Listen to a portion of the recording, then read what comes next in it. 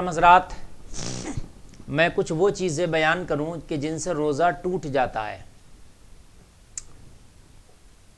देखिए, सुबह सादिक से लेकर सूरज गुरूब तक खाने, पीने और जिमा से बाज रहने का नाम रोज़ा है। यानी आप न खा सकते हैं, न पी पी सकते हैं, न जिमा के करीब जा सकते हैं। अब अगर किसी ने इस वक्त में खा लिया, रोज़ा टूट जाएगा। पी लिया, रोज़ा टूट जाएगा। जिमा कर लिया, रोज़ा टूट जाएगा। ये तो मोटी मोटी बातें हैं। अब मैं कुछ वो बारीक बातें बता दूँ कि जिनसे रोज़ा जाता रहता है और इंसान के जहन में नहीं होता, वहम गुमान तक में भी नहीं होता। किसी के मुँह में दांत से खून निकला और वो खून उसने निगल लिया और वो इतना था कि उसका जायका मालूम हुआ तो रोज़ा जाता रहा।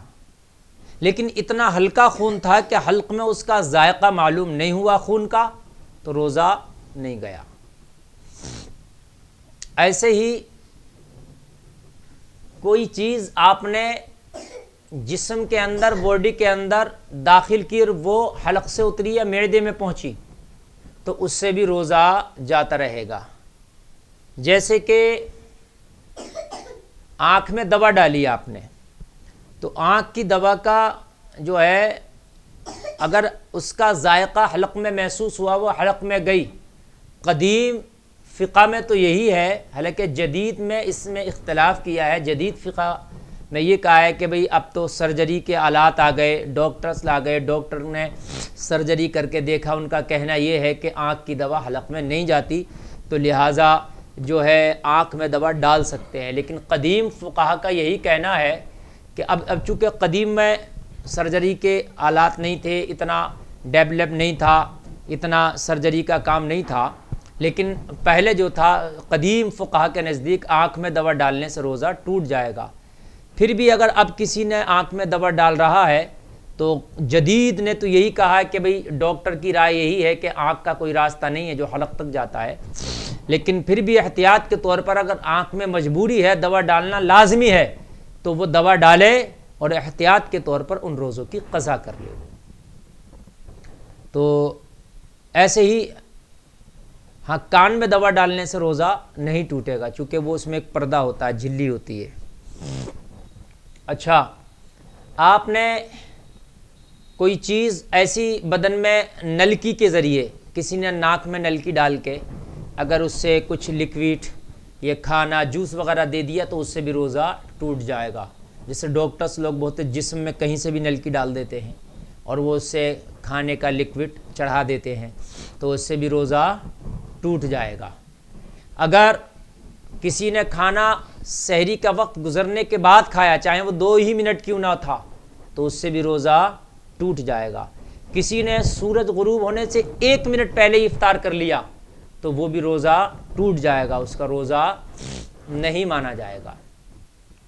चूँकि वो वक्त की कैद जो है, उस वक्त में ही आपको रोज़ादार रहना है। अच्छा किसी ने धोखे से खाया था लेकिन एकदम याद आया उसको कि मैं रोज़ा सा हूँ उसके मुँह में कुछ खाना था, उसको उसने निगल लिया तो उससे भी रोज़ा टूट जाएगा। वो मुँह का था, उसको मुँह से बाहर कर देना चाहिए था, निगलना नहीं चाहिए था।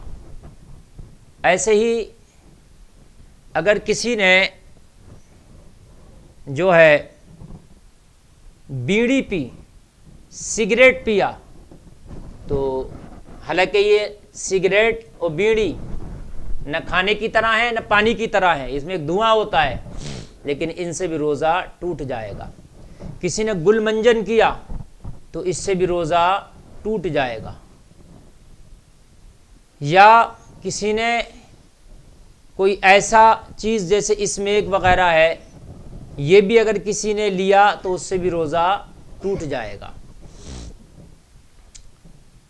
अगर किसी ने खून जैसे मिसाल के तौर पर निकला और उस खून को पी लिया तो उस खून से भी रोज़ा टूट जाएगा।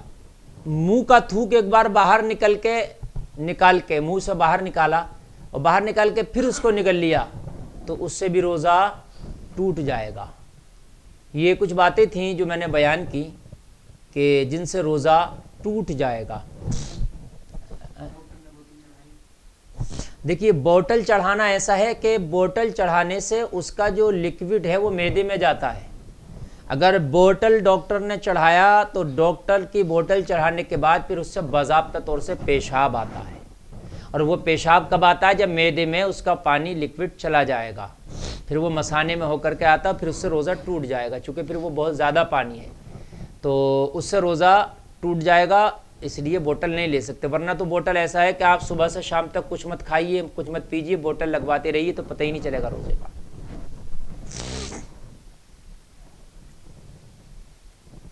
ठीक है, इसको उतने हाँ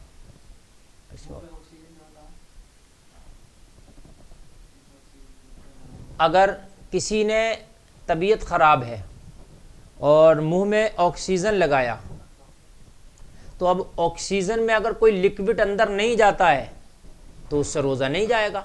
और अगर कुछ उसके ज़रिए से लिक्विड अंदर चला जाता है तो रोज़ा चला जाएगा। अब ये डॉक्टर की तहकीक की बात है कि लिक्विड जाता है कि नहीं जाता है, लेकिन मेरे ख्याल से तो ऑक्सीजन लगाने से लिक्विड नहीं जाता है शायद।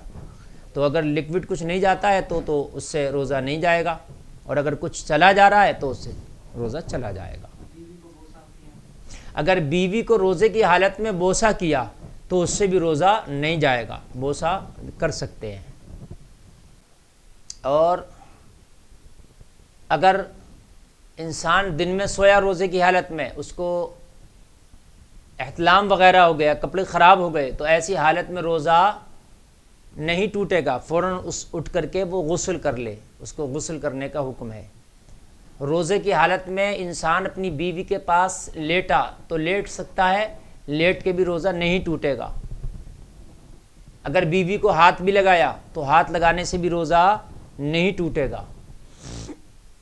और अगर जो है रोज़े की हालत में इंसान था और उसके कपड़े ख़राब हो गए, कभी ऐसा होता पेशाब, कपड़ों को लग गया, पेशाब फिर रहा था तो कपड़ों को पेशाब लग गया, या और कोई गंदगी लग गई, बच्चे ने पेशाब कर दिया आपके ऊपर, आपने गोद में लिया तो कपड़ा ख़राब होगा, उससे रोज़ा ख़राब नहीं होगा। आप कपड़ा चेंज कर सकते हैं। जहाँ जहाँ बदन पे आपके नजास्त लगी है, अगर बच्चे ने पेशाब कर दिया था तो आप उस पेशाब को धुल लेंगे और या गसल भी कर सकते हैं, लेकिन उससे गसल वाजिब नहीं होता है। ठीक। है